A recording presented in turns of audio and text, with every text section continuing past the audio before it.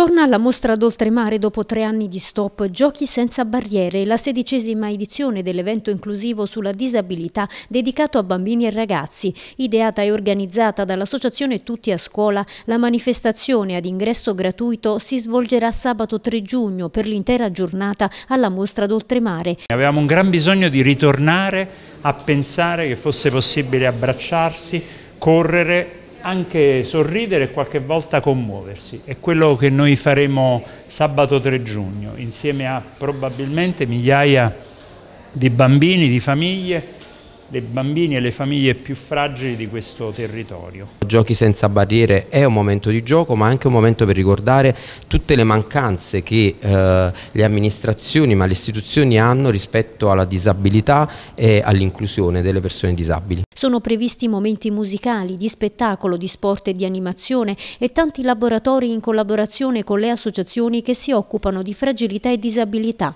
Negli spazi della mostra sarà allestito un palco dove si alterneranno gli artisti, da Clementino ad Andrea Sannino, Leo Gasman, Sal da Vinci, Mr. Hyde e un villaggio dello sport offrirà la possibilità di praticare diverse attività. Un'iniziativa molto importante che ha una lunga tradizione che con piacere sosteniamo. C'è la necessità di un approccio che guardi a questo non come un problema ma come una grande opportunità. Eh, spesso in tutti gli interventi che sono stati fatti non sempre c'è stata quell'attenzione al, alle persone che hanno dei bisogni speciali e quindi è opportuno che ci sia una visione integrata, anche la scelta di avere un garante per la disabilità va in questa direzione. L'iniziativa è realizzata in collaborazione con il Comune e grazie all'azienda ospedaliera Cardarelli sarà possibile usufruire di consulenze mediche gratuite. Abbiamo a fianco quest'anno degli amici come l'ASL Napoli Centro che ha allestito una vera e propria struttura ospedaliera e viva Giochi Senza Barriere.